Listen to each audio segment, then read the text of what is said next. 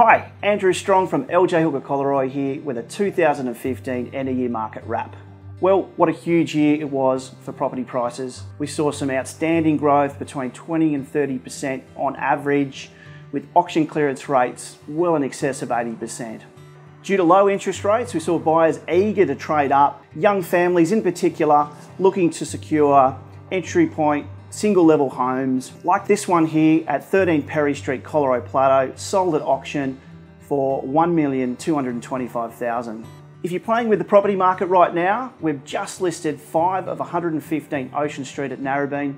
It's a magnificent beachfront property. Whether you're looking for an investment, something to retire in, perhaps a weekender, this property is an absolute must to see, under a million dollars, located right on the beachfront.